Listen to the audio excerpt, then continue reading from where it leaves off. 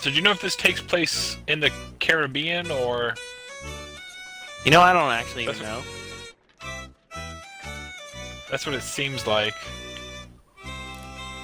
It looks like the Caribbean. Yeah, because then we could be the Caribbean grog or something. Caribbean what? Like uh, shipping and grog.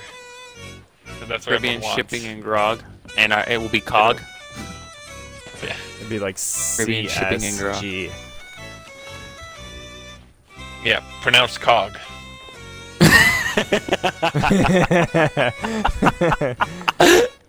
Okay. Look for that episode, July 7th, 2018.